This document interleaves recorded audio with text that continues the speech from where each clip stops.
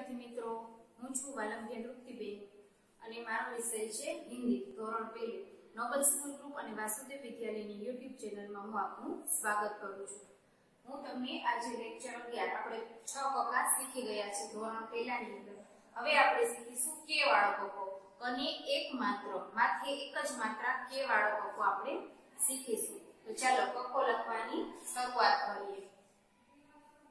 ઉપરની લાઈને અડાડીને લખીશું. અક્ષર મોટા અને ચોખ્ખા કરીશું, માથે માત્રા કરીશું. ઘરને એક માત્ર કે ઘરને એક માત્ર કે ઘરને એક માત્ર કે ઘરને એક માત્ર કે માથે એક જ લીટો કરવાનો છે. છ કક્કા પછી કે વાળો કક્કો ચાલુ થાય.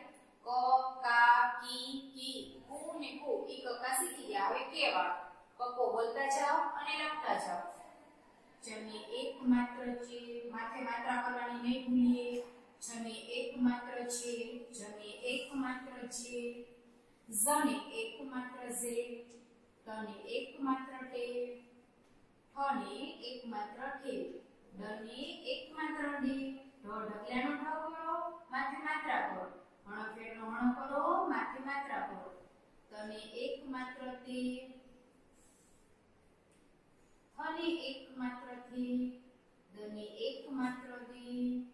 એક માત્ર દે ધને એક માત્ર દે મીંડું વાળી સુધોમાં નને એક માત્ર ને કોને એક માત્ર પે આનસનો આવી રીતના કરીશું ને માથે એક લીટો કરીને માત્રા કરીશું. બને એક માત્ર બે ભ કરો માથે માત્રા કરો.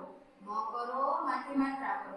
કકો જેમ આવે છે એમ જ લખતો જવાનું છે, માથે માત્રા કરવાની છે. યને એક માત્ર યે રને એકમાત્ર રે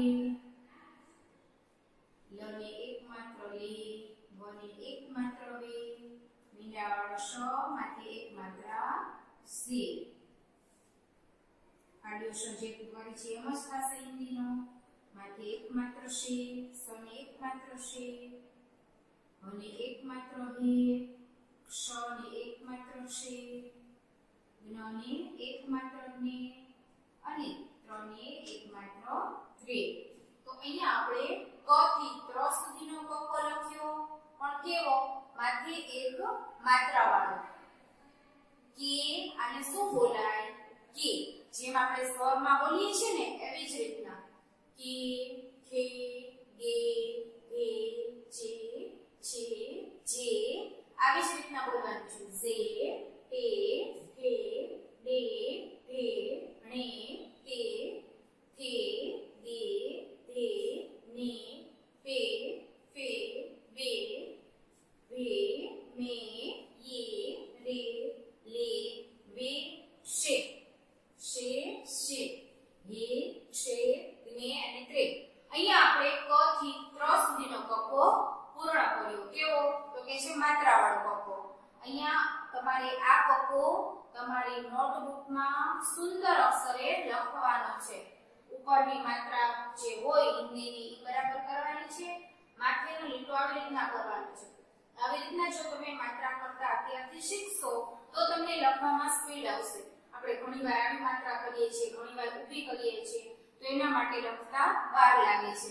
એટલે મેં આવી રીતે માત્રા કરીને તમને કક્કો શીખવાડ્યો.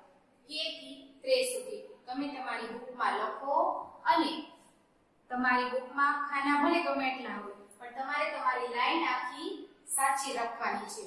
અહીંયા આઠ ખાના હોય તો ઝ ને અહીંયા લઈ લેવાનો. એવું સમજી વિચારીને લખો તમારી બુકમાં લખો અને અક્ષરો સારા કરવા પ્રયત્ન કરો. અને તમારે ઉપરની લાઈનને અડાડીને લખતા શીખવાનું છે. અસ્તુ.